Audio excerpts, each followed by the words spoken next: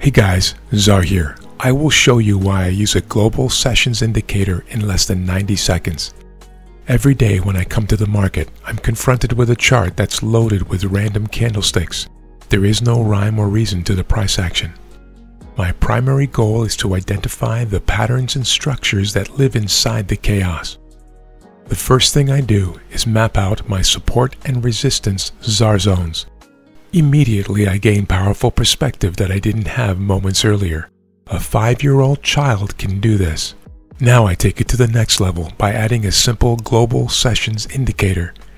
All of a sudden, I can visualize an entire 24-hour period of trading as it moves systematically around the earth.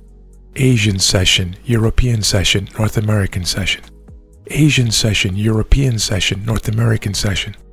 Notice how each session behaves in a predictable way. Narrow range, expanding range, explosive range.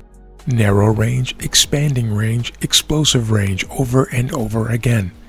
Each of these sessions have a beginning and an end and brings a different group of players to the game. This has powerful implications when it comes to decoding czar zones, price patterns, candle bodies, and wicks. Watch my other videos to learn more.